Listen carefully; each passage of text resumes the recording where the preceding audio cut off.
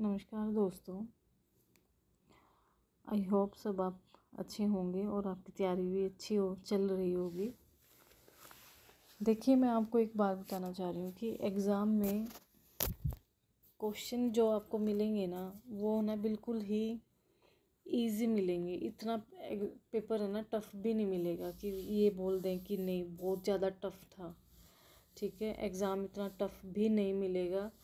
बस ऐसा लगेगा कि कि कुछ अगर कोई क्वेश्चन का आंसर ना आए तो आपको लगेगा कि शायद ये मैंने पढ़ा नहीं है और वो हमारी बुक्स में ही पढ़ा है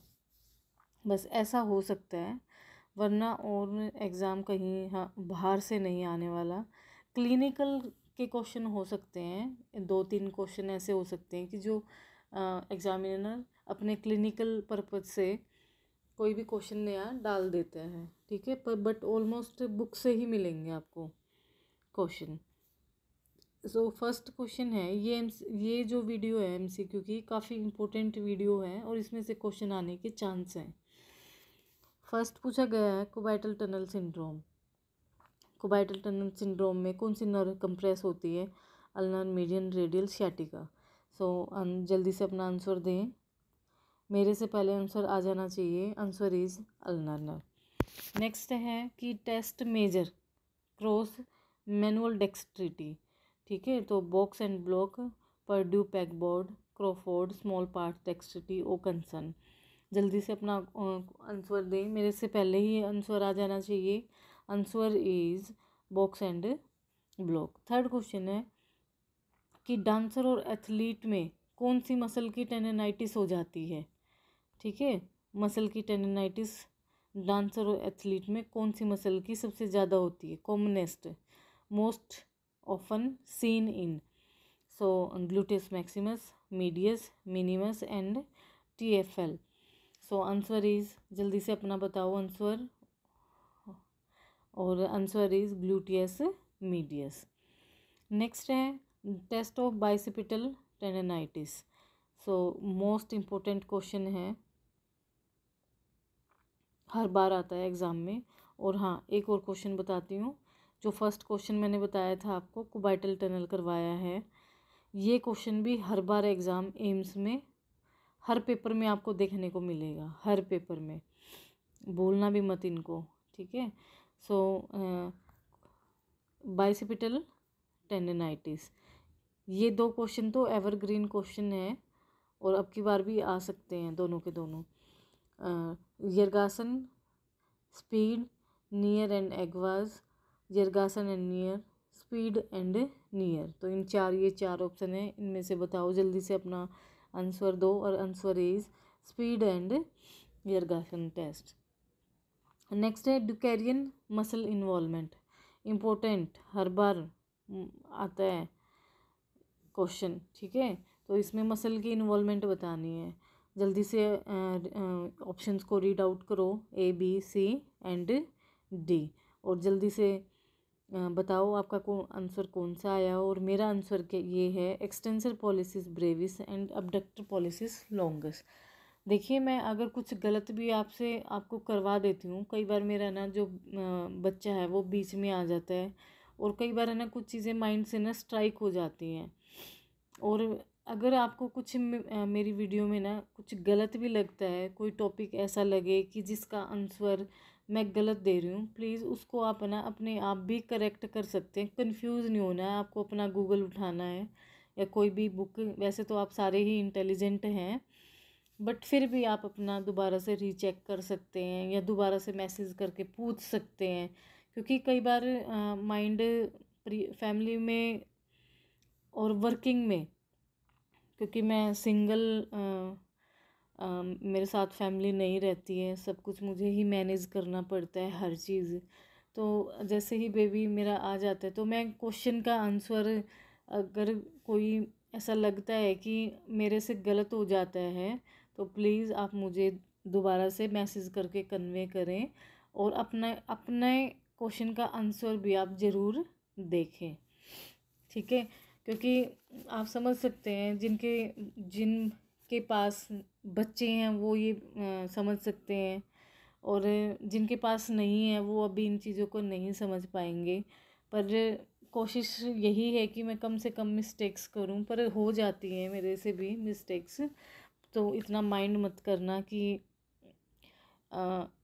आप इतना मत सोचना अपना रीचेक करके और अपने क्वेश्चन का आंसर खुद अपना सोल्यूशन निकालना आपको नेक्स्ट टॉपिक है डुकेरिन टिनोवेजनाइटिस का टेस्ट कौन सा है स्पेशल टेस्ट तो एगवाज है या स्पीड है या यर्गासन है अब ये देखिए स्पीड और यर्गासन तो हो ही नहीं सकता क्योंकि ये तो बाइसिपिटल टेनेनाइटिस के हैं तो एगवाज और फिंकलिस्टिन क्या ये टेस्ट हो सकता है जी हाँ इनमें से इन दोनों में से एक टेस्ट हो सकता है और वो है फिंक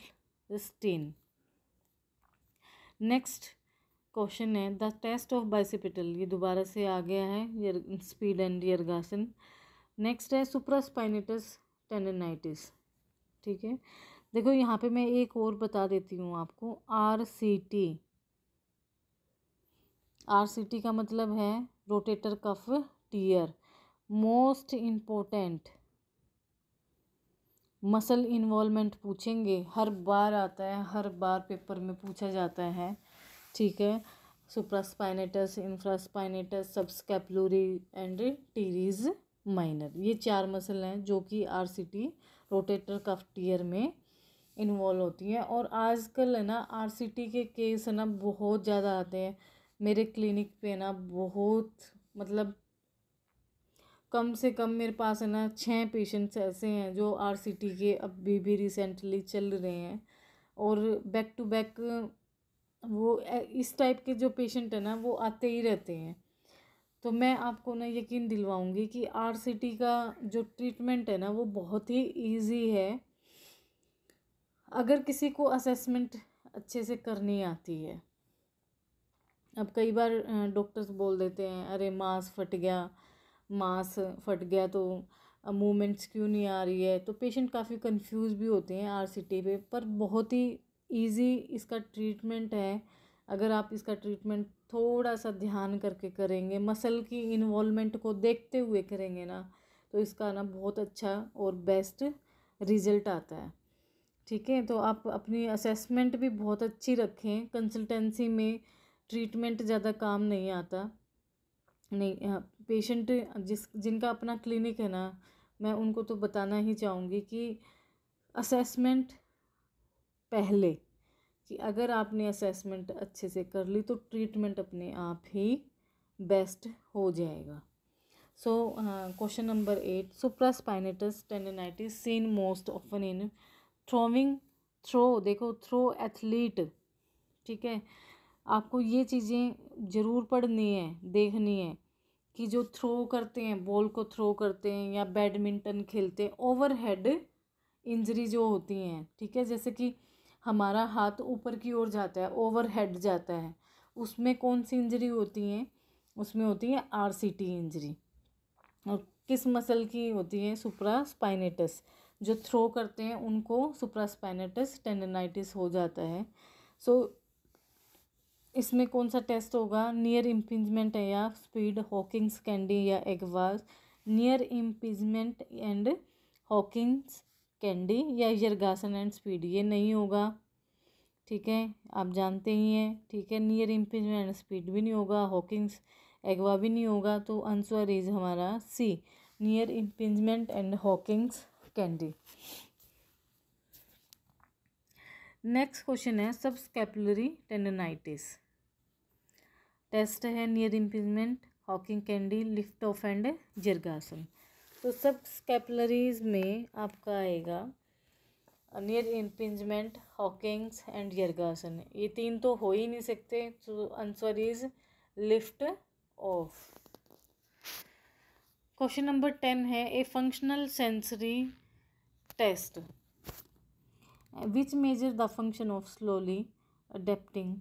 a beta fiber in median nerve injury is known as following test ठीक है delta Dellon modification of Moberg picking आप इसको ना डायरेक्ट वैसे ही याद कर सकते हैं आप नेक्स्ट क्वेश्चन है पेशेंट विद लेटरल पोपलिटियल और कॉमन पेरोनर पॉलिसी है फॉलोविंग गेट एबनॉर्मलिटी ठीक है देखो लेटरल पोपलिटियल और कॉमन पेनोनियल नर्व पालसी में कौन से गेट एबनॉर्मेलिटी हो जाती है Trendelenburg short limb high step ये स्टॉपेज नहीं है स्टेपेज है या फिर लर्चिंग गेट तो जल्दी से अपना आंसर बताएं आप क्या टेंडलबर्ग है या फिर शॉर्ट लिम है या फिर हाई स्टेपेज हैं या फिर लर्चिंग गेट है सो आंसर इज हमारा है high steppage gait next question है विंगिंग ऑफ स्कैपुला ये क्वेश्चन है ना एक बार एम्स में आया था दूसरी बार नहीं आया था ये question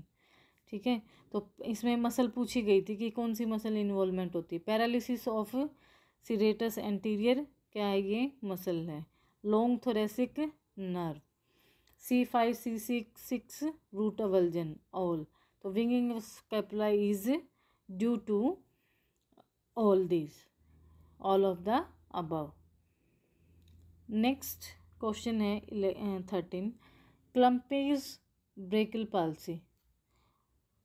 have following functional disability except disability function disability except पूछा गया है so difficulty in tie shoe lace its and इसमें है आगे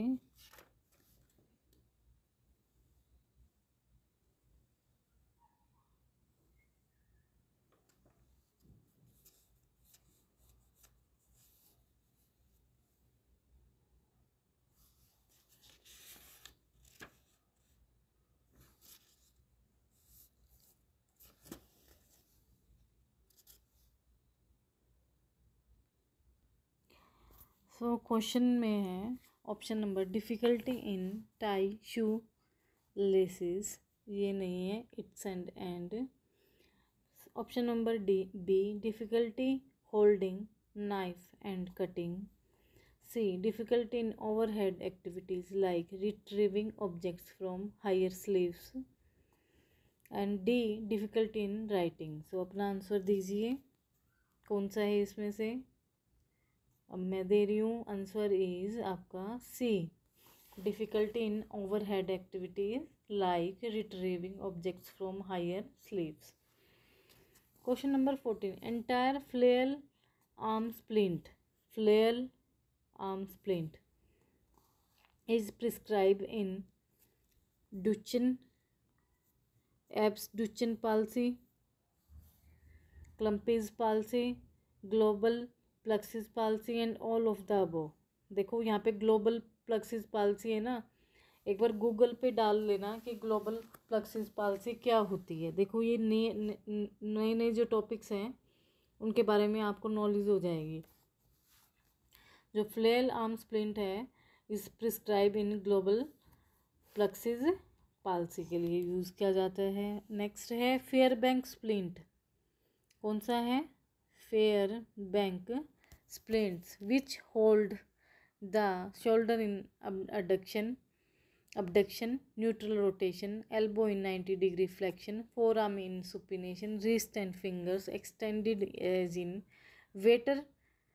carrying tray tray position is prescribed in so, ये सबको question पता होगा waiter tip वाली जो position होती है वो होती है एब्स डुचन पालसी में question number sixteen classical deformity in Erb's Duchenne palsy is policeman tip hand और flail arm B waiter tip hand और waiter carry carry tray position आपको बहुत ही ध्यान से पढ़ना है ये question waiter carrying tray position और पुलिसमैन टिप हैंड डी है policeman tip hand and waiter tip hand so answer is policeman tip hand and waiter tip hand next question है Trendelenburg test is positive in important है ये Trendelenburg is positive in paralysis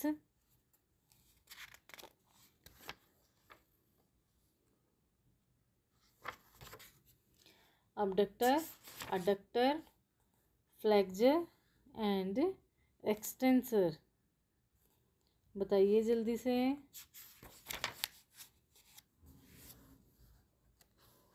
so answer is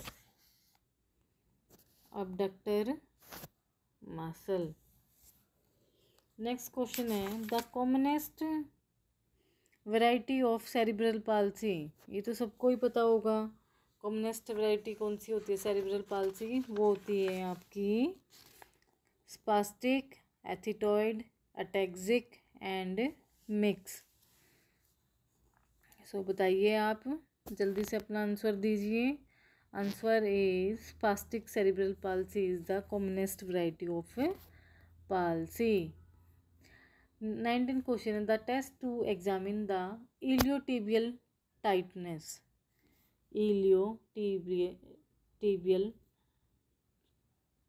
tract tightness is describe by Thomas Ober Ely and Trendelenburg important है ये भी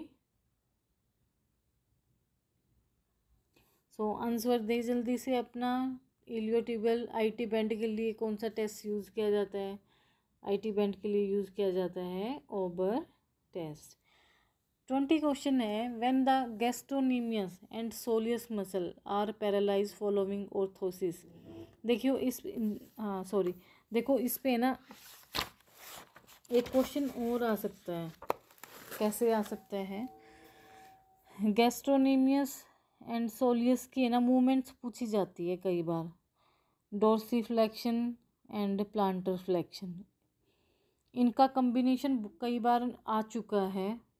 और इसको इसको जो ये जो ये एक बार एनाटमी की बुक उठा लेना और एनाटमी की बुक में गैस्ट्रोनिमियस सोलियस काफ जो मसल हैं और anterior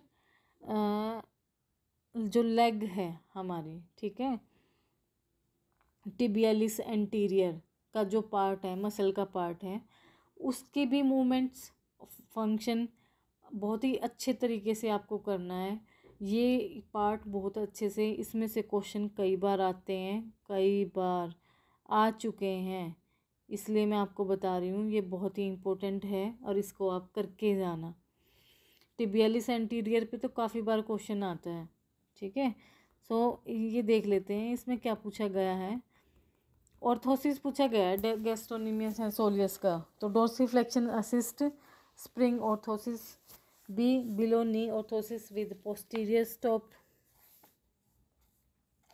C. Plantar flexion assist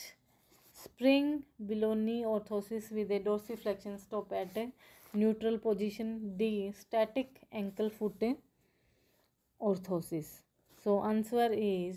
C. Plantar flexion assist spring below knee orthosis with a dorsiflexion stop at neutral position twenty one question है rheumatoid arthritis is H L A बताइए जल्दी से B twenty seven है या D B P B one है या D Q B I है तो so, क्या है answer is D R B four है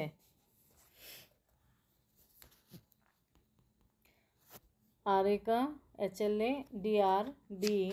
four so next question है हमारा sterno occipital mandibular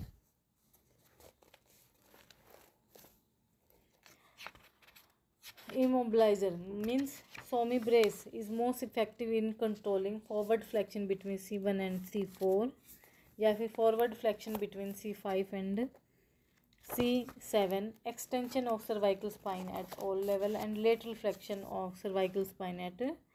all level तो बताइए आप अपना आंसर कि इसका आंसर क्या होगा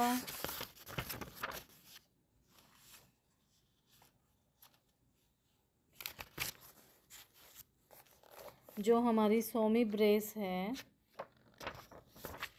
वो कौन सी मूवमेंट को कंट्रोल करती है कंट्रोल करती है forward flexion between C one and C four next question है फोर पोस्टर सर्वाइकल ब्रेस ये क्वेश्चन आ चुका है पहले एम्स में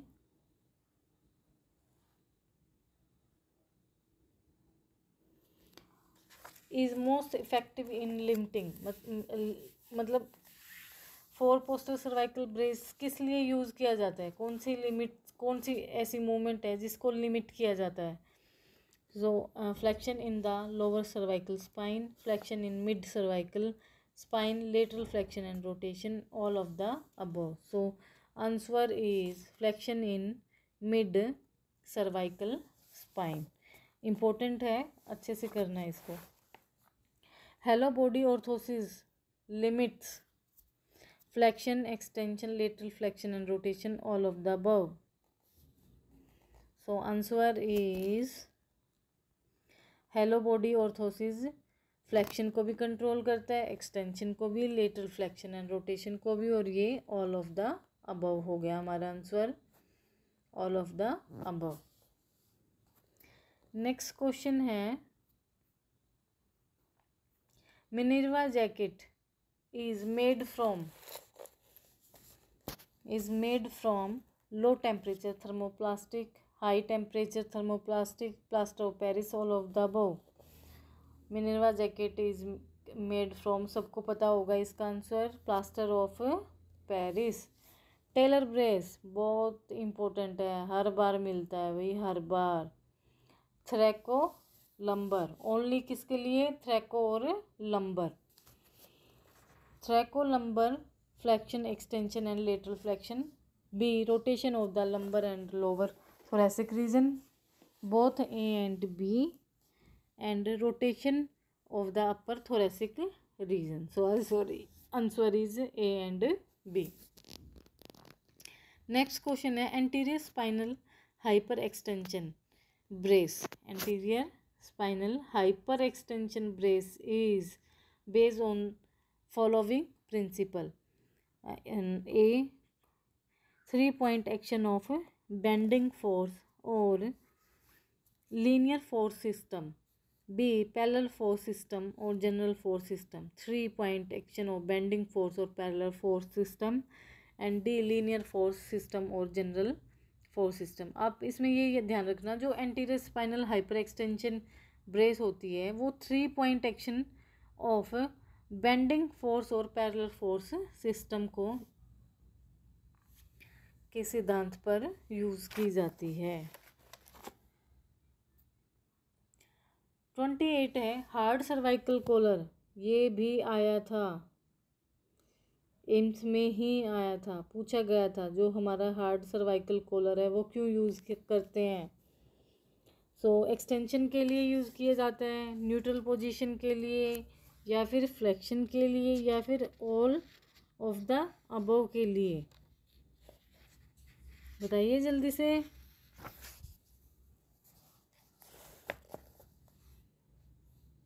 so hard cervical collar use किया जाता है न्यूट्रल पोजीशन के लिए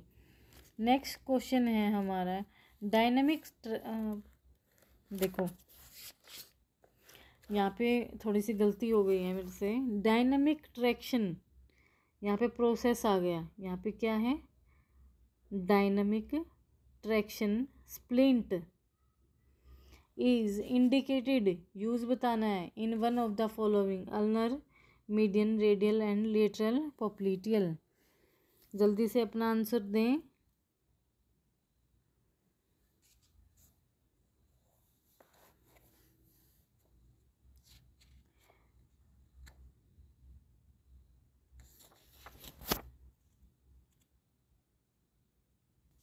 नहीं सॉरी मैंने आपको ये ट्रैक्शन वाला दूसरा क्वेश्चन बता दिया है ये यहाँ पे ट्रैक्शन ही नहीं आएगा ये इसका डायनेमिक ट्रैक्शन भी होता है ना तो मैं सोचा कि प्रोसेस की जगह ट्रैक्शन है सो ये प्रोसेस नहीं है प्रोसेसर है pro प्रोसर dynamic process प्रोसर splint is indicated one of the following so ये यूज़ किया जाता है अलनर नर्व के लिए नेक्स्ट क्वेश्चन है लीजन एट सिक्सटी सिक्स और अबव इम्पोर्टेंट क्वेश्चन है हर बार पिछली बार भी आया था एम्स में मैंने क्वेश्चन में बताया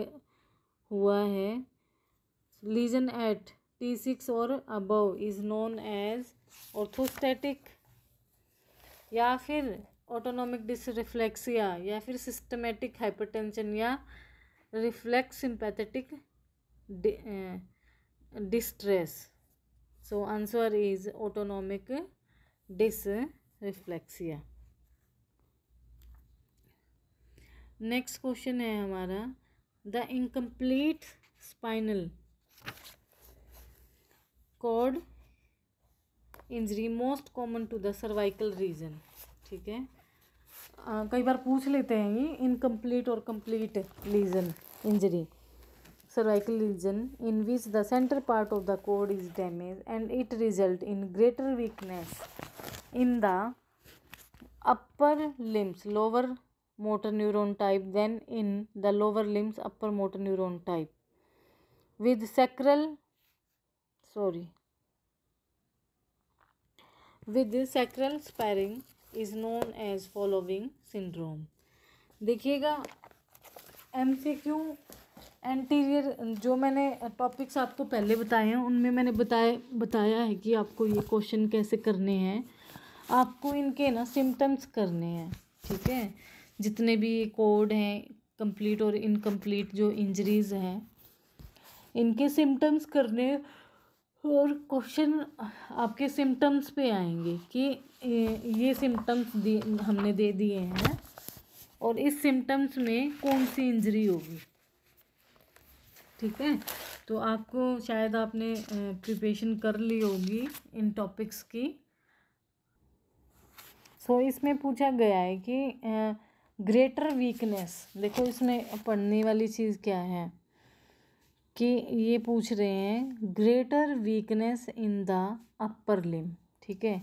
ज़्यादा वीकनेस तो कौन से में है अपर लिम में है और lower limb with sacral sparing is known as following syndrome तो इसको कौन सा सिंड्रोम बोलेंगे इसको बोलेंगे हम सेंट्रल कोड सिंड्रोम देखो इसमें भी क्या दिया हुआ है सिम्टम दिए हुए हैं क्योंकि सिम्टम से ही पूछ सकता है एग्ज़ामिनर और कोई इनमें क्वेश्चन बनते नहीं है नेक्स्ट क्वेश्चन है the lesion to the sacral cord ठीक है and lumbar nerve roots within the spinal canal resulting areflexic areflexic bladder and bowel ठीक है उसमें ये आ जाएगा कि ब्लैडर और बाउल सिंड्रोम कौन से किस इंजरी में होता है सॉरी किस स्पाइनल कोड इंजरी में होता है and lower limb is known as इसमें ये क्या पूछा है कि बाउल एंड ब्लेडर इन्वॉल्व में इन्वॉल्व होते हैं और लोअर लिम इन्वॉल्व होते हैं ठीक है तो उसमें कौन सी डिजीज़ होएगी central cord Brown Sequard and conus medullary या फिर ये रहा sorry anterior cord A option anterior B central C Brown's cord and D conus तो अब बताइए देखो इसमें बाउल एंड ब्लेडर ये क्वेश्चन बाउल एंड ब्लेडर पे आ चुका है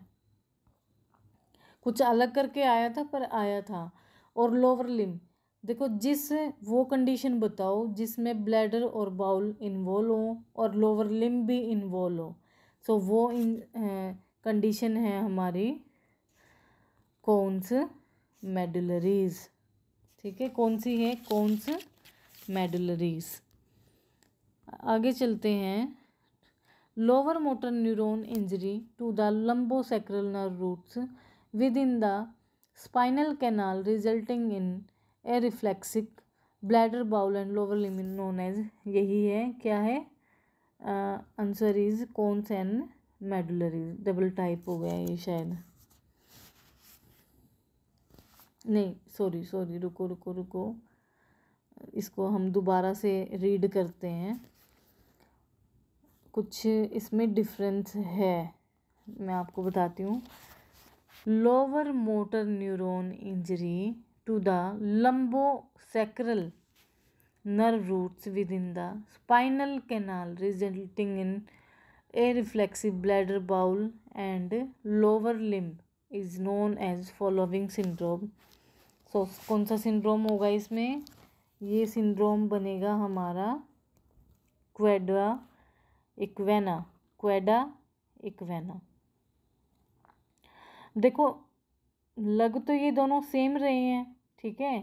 पर ये डिफरेंस कैसे हैं इन दोनों क्वेश्चन में देखो ये इन दोनों क्वेश्चंस में डिफरेंस कहाँ है इसमें तो पूछा गया है sacral cord and lumbar nerve root sacral cord and lumbar nerve root और इसमें क्या है lower motor neuron injury to the lumbosacral nerve root within the spinal canal देखो यही बस इसमें इन दोनों क्वेश्चन को डिफ़र कर देते हैं तो आपको क्वेश्चन को ये बिल्कुल ध्यान से पढ़ना है वैसे पूछेंगे सिंपल इतना टफ भी नहीं पूछेंगे कि आ, इस तरीके से कंफ्यूज करेंगे सो so, आंसर है इसका क्वेडा इक्वाना इसका आंसर है क्वेडा इक्वाना और इसका आंसर है कौन से मेडुलरीज नेक्स्ट क्वेश्चन है हमारा ASIA impairment ASIA impairment scale used in ASIA America America सबको जाना होगा घूमने के लिए रहने के लिए नहीं जाना है ओनली सिर्फ घूमने के लिए जा सकते हैं अमेरिका स्पाइनल इंजरी और घूमना भी चाहिए हर जगह ठीक है इंजरी एसोसिएशन फुल फॉर्म भी आ जाती हैं ऐसा नहीं है कि नहीं आएगी आ सकती है अमेरिका स्पाइनल इंजरी एसोसिएशन देखो इसके नाम से ही पता लग रहा है स्पाइनल इंजरी के लिए यूज़ किया जाता है ये और ये एम्स में पीछे आया था मैंने आपको पहली वाली वीडियोस में भी बताया था कि मेरे को ये कैसे याद रहा था ठीक है तो अमेरिका स्पाइनल इंजरी एसोसिएशन तो जाएंगे आप अमेरिका घूमने ठीक है जॉब लग जाने दो फिर जाना घूमने सो so, आंसर है इसका क्या स्ट्रोक है या कोड इंजरी है या सेरिब्रल पालसी है या एंजाइना है तो ऐसे भी क्वेश्चन आ सकता है ये मैंने देखो डिटो क्वेश्चन जो आया था ना एम्स में दिया था पिछली बार वही मैंने यूँ का यूँ कॉपी मार दिया आपको ठीक है तो उसमें स्पाइनल नहीं दिया हुआ था सिर्फ कोड इंजरी दिया हुआ था ठीक है तो स्पाइनल अपने आप लगा लेना और लिख देना कोड इंजरी सो आज के एम सी क्यू थर्टी हैं और ये एम सी क्यू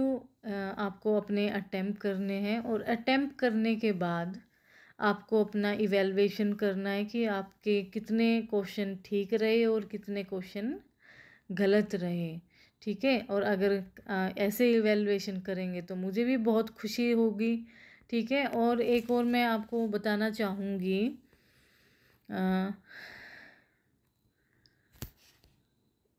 मैंने एक वीडियो डाली थी पोलियो में है उसमें मैंने पूरा पोलियो का बताया हुआ है आपको ठीक है तो शायद वो मेरे कंटेंट से डिलीट हो गई है M C Q part nine शायद तो उसमें मैंने क्रेनियल नर्व्स करवाई थी आपको क्योंकि वो पता डिलीट क्यों होगी क्योंकि मेरा बेटा ना कारीगरी करता रहता है पूरा दिन उसकी छुट्टियां हो गई हैं और उसने पता नहीं वो वीडियो कैसे डिलीट कर दी सो आपको करना है मैं बता देती हूँ क्रेनियल नर्व देखो एक क्वेश्चन है ना ज़रूर आएगा जो मैं बता रही हूँ ना जो अगर आ गया ना तो आप है ना ये कहोगे कि ओहो हम तो ये करके आए थे आपको ना क्रेनियल नर्व के ना नेम बहुत ही अच्छे से करने हैं नेम ठीक है फंक्शन करने हैं कहाँ कहाँ ये सप्लाई करती हैं फिर आपको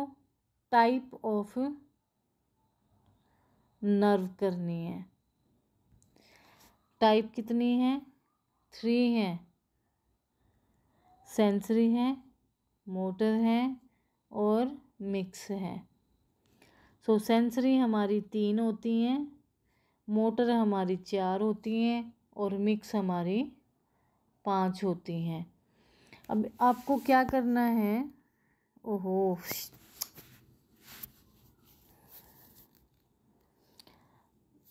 आप समझ सकते हैं ना बस पढ़ाते वक्त आप पोज़ कर लेना वीडियो को ठीक है और फिर उसके बाद इसके बाद ही करा देती हूँ मैं आपको जल्दी जल्दी लिख देती हूँ चलो कोई नहीं क्रेनियल नर्व नेम फंक्शन ठीक है अच्छे से करना है ज़रूर आएंगे दो क्वेश्चन ज़रूर मिलेंगे और फिर करना है टाइप ऑफ नर्व और टाइप ऑफ नर में तीन हैं sensory motor and mix sensory हमारी तीन है मोटर हमारी चार है और मिक्स हमारी पाँच है अब इसमें भी आप ये देखना है आपको ऐसे करना है कि सेंसरी कौन कौन सी हैं वन टू और एट है ठीक है और मोटर हमारी जो भी है वो लिख लेना चार नर्व हैं और मिक्स वो भी लिख लेना है याद कर लेना अपनी ठीक है दो याद कर लेना और तो बची जाएंगी अपने आप ही पाँच और है ना एक और मैं तरीका बताती हूँ आपको आ, हम्म, जल्दी से इसको रीड कर लो फिर ये दोबारा से रब हो जाएगा वरना ठीक है हाँ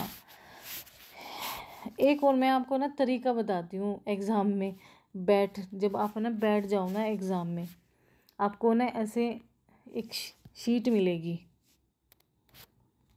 रफ़ शीट मिलेगी ऐसे ठीक है आपकी होगी ये रफ़ शीट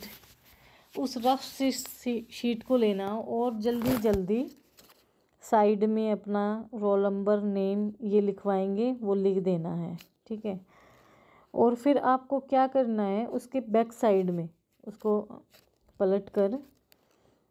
क्रेनियल नर्स लिख लेना ठीक है मेन मेन नेम लिख लेना जल्दी जल्दी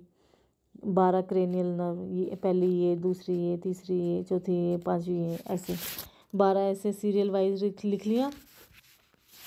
फिर आपको इस साइड क्या करना है ए सॉरी